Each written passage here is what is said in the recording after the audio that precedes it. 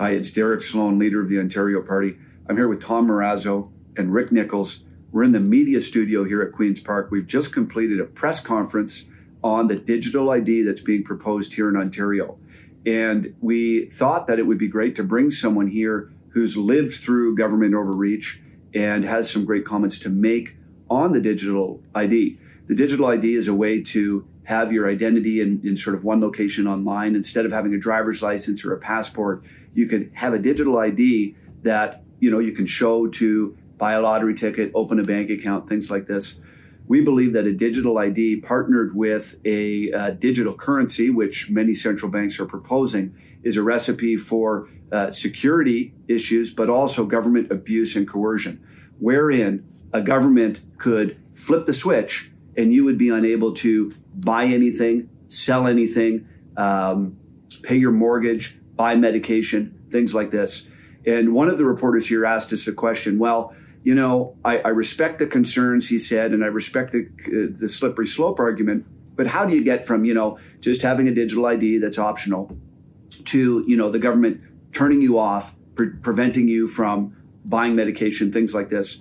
And I answered and said, you know, when you have the infrastructure in place, it becomes so tempting to use it. And I just want to let Tom talk a little bit about his experience being a leader at the trucker convoy in Ottawa of how easily the government shut him out of the system and how much more easily they could do so if a digital ID was in place.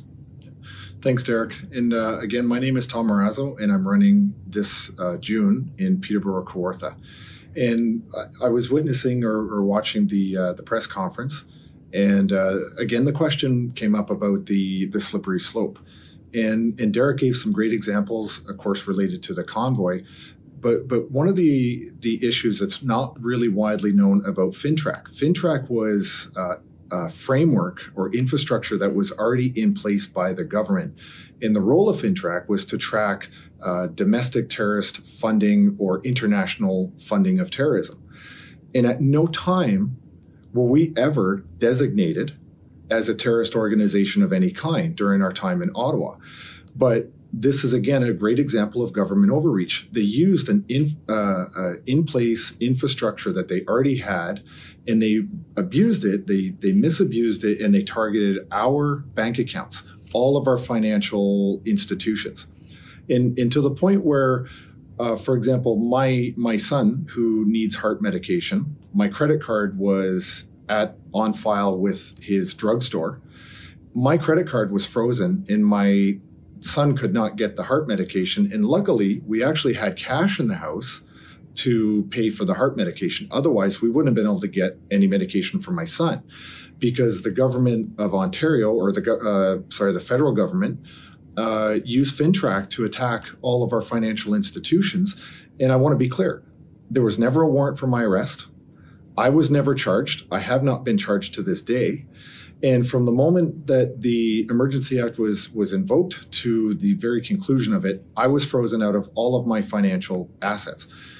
On top of that, under the FINTRAC, and I confirmed this with my lawyer Keith Wilson with the JCCF, the government is not supposed to, using FINTRAC, actually go after uh, joint accounts. So my wife's and mine are joint accounts. Joint accounts were also taken away, and credit cards were taken away joint credit cards, and credit scores were directly affected by this. So when you talk about the infrastructure being abused, we've already seen an example of it. And now, if we tie this digital ID to uh, try to consolidate every, you know, digital um, uh, piece in our lives, when is it going to be when law enforcement decides that they want to come up with more legislation to to be able to target that and use that as a weapon uh, against its own citizens. And, and so that for me is a very terrifying uh, proposition for residents of Ontario.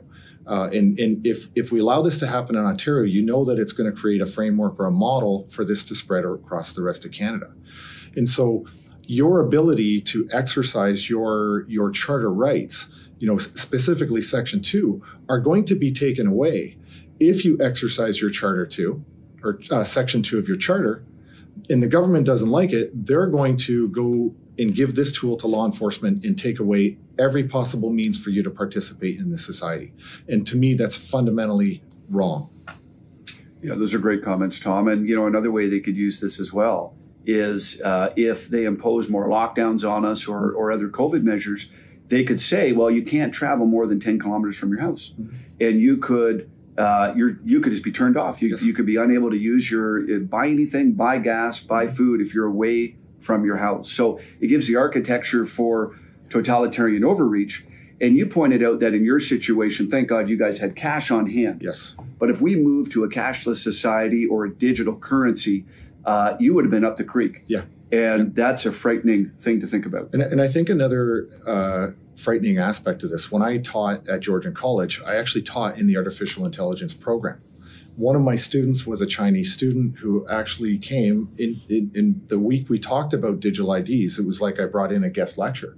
He taught or talked about his role in China and developing digital ID type of, of software for the company he worked for. So this is very integrative within all facets of your society. And, you know, it's, it's, I, I do agree there are conveniences, but when you're allowing for an artificial intelligence, which this will have to be predicated on an artificial intelligence framework of some kind, where's the human component to this? like you said, if if you are um, you know forbidden during a lockdown to go five kilometers from your home, well, maybe my my pharmacy is outside of that bubble. Is is the algorithms is the software going to be able to detect that thing? Where is the human element to my specific case? Because you're really just brought under a big umbrella of uh, a digital ID type of system that is meant to social engineer or modify behavior of your public and it's not being done by human beings it's actually done by an automated system of artificial intelligence and for me i find that to be a very very terrifying thing in a free and democratic society when the ai is making the decisions and there's no human in the loop well the interesting thing is that we just had a system which was digitally based that created two tiers of society mm. the vaccinated and the unvaccinated right so we had a system where people were showing things on their phone and it and it and it enabled them to either access certain privileges or not. Yes. And so the idea that this could never happen or that it could never be expanded, I think, is naive. Uh, we've just seen it. We've seen uh, the government stoking uh, division and polarization amongst different groups. Imagine if, again, we had this infrastructure in place and you had the government focusing on a group of people. Maybe it's racist truckers on Parliament Hill. Maybe it's, you know, misogynistic people who don't want to take the vaccine or whatever it was that, that Trudeau said. But the fact is, is that they're hyping up such polarization in society that it, that it could get to the point where people are saying, oh, well, why don't you just shut those guys off, turn the switch off on those people, and they would have the infrastructure in place to do it.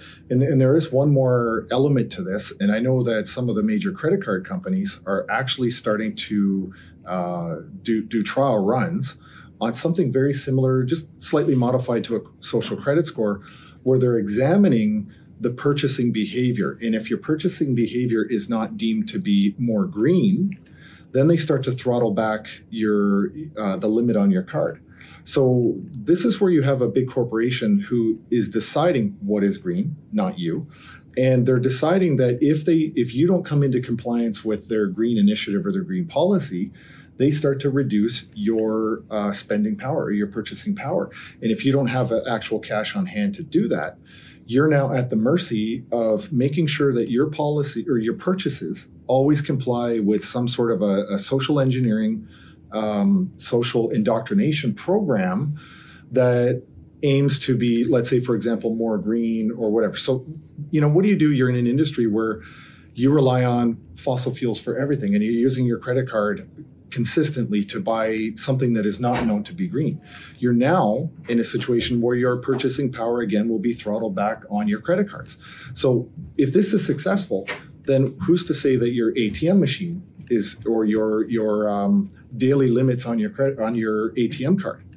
Like there's all sorts of creative things that we could lose our rights and freedoms to spend our money that we have earned in a way that we find most appropriate for ourselves. These are algorithms and social uh, engineering programs meant to modify our behavior.